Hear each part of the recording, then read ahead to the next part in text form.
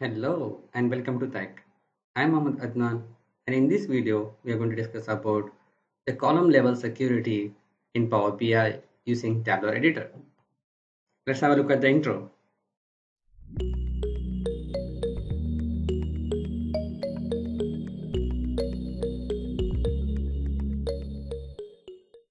If you are new to this channel or if you haven't subscribed yet, just click on the subscribe button and also press the bell icon to get the latest notifications. Now let's get started. So this is my HR dashboard. Complete HR analytics. If you haven't seen that, you can just check out in the video description. You might have heard about the row level security where you are going to restrict to some users they can't see some of the rows in the data. But what about the columns? For an example, if you have the employee and the employee salary, you don't want to show the salary information to few of the users. In that case, you need to restrict the data to hide the columns here. For example, here, if you look at the salary tab here, there are all the visuals which is available in this page is all about the salary of the employees. So you don't want to show this information to a certain number of users. In order to that, you don't need to create a separate dashboard for them. You can create the same dashboard, but you can restrict the particular column to those peoples. In order to do that, first of all, you need to create the roles in Power BI. The roles you have to create it here. So I'm just clicking on the manage roles. And here I have two roles here. One is HR, nothing is written here. And I have created one more for the viewers. Also, it is black. Because you don't need to define anything here, you just need to create a role in Power BI desktop and then rest of the things you have to do it in the tabular editor. So clicking once you click once you create this if you don't know how to create that i have made a separate video about that but even though i'll just tell you here you just need to click the create and then you need to give it a name second user second user and then if you want to filter something else on the particular table you can just click here add filters and select the columns from here. It will bring up the column information here and you can define particular value in it so deleting this i don't need this. And once it is done click on save. And then you need to go to external tools where you can find the tabular editor. You need to click on this tabular editor. It will open up a new window. So this is an awesome tool. So you can do a number of things here. I'm making a separate separate videos in it. You can just go and check out a separate playlist about the tabular editor so here I have version of 2.15.1. It is better to update the latest version whenever possible. So here is the roles. Let me zoom a bit. In roles, we have Viewer and HR.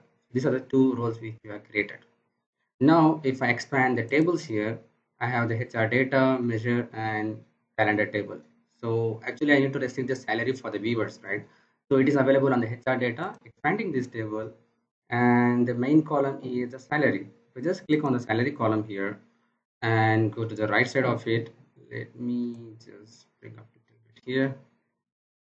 So this is the column which I selected the salary. And if you just go down there's an option here object level security. Actually this was introduced in March 2021 itself. So if you expand this the whatever the roles which you have created it will display here and for each and every role you have an option like default and just yeah. So it is available none and read. So default is the default option. I think it is subject to the read itself. If, but if you want to restrict the users you need to click on none because they should not have to either the read permission or default permission. It has to be none in order to restrict that.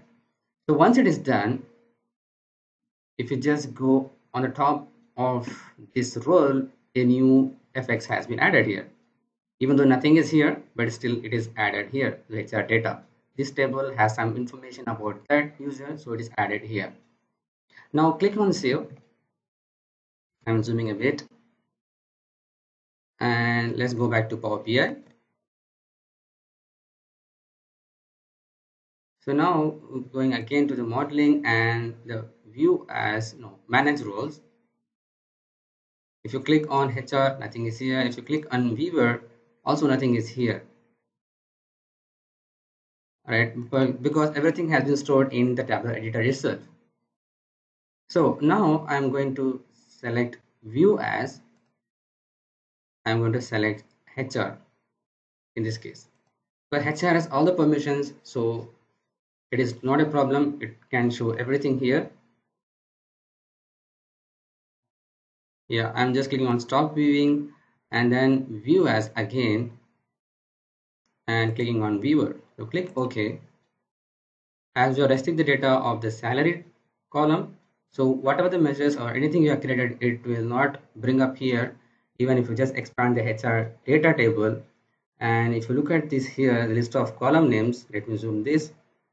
So it is HR data and if you look at this there is no salary table here. I mean there is no salary column here. This bin is a calculate column.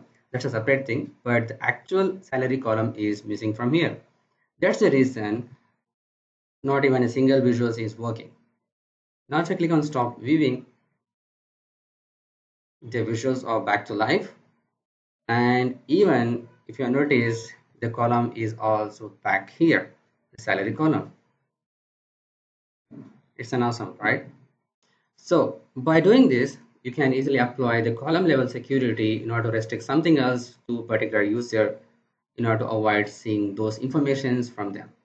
The same logic applies to Power BI service. It's, if you publish this report to Power BI service and then there you can assign the users or user groups, they can apply the same logic here. Even if you convert this into an app, it's also working seamlessly.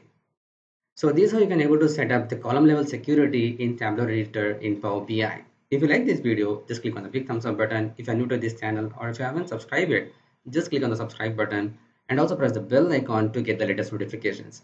If you're not yet a member of our channel, just hit the join button to know in detail about it. If you have any queries and feedback, just post it on the comment section below. Thanks for watching. Keep sharing, keep learning. See you in the next video.